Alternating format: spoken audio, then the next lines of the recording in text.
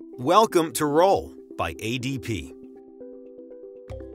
There are two ways to get started running payroll. You can either type Run Payroll in chat or tap the notification in your app timeline or on your phone, letting you know it's time to run payroll.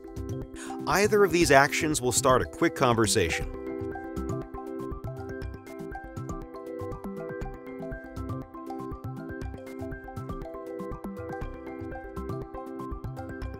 Simply enter the hours worked and double check to make sure everything looks correct. If any changes are needed, you can always go back and tap the pencil icon to edit your entries. If not, tap Continue.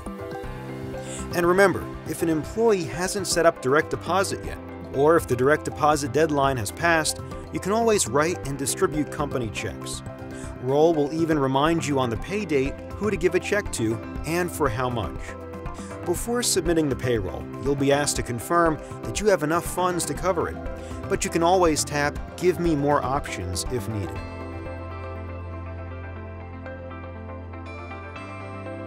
If the payroll is all set, tap Submit. Just FYI, the easiest way to confirm your payroll's been submitted is to look for the pay summary notification on your timeline. You can even receive your payroll totals from there. Oh, and if you need to, you can always make changes until your payroll deadline. All you have to do is go to chat and type change payroll. Super easy.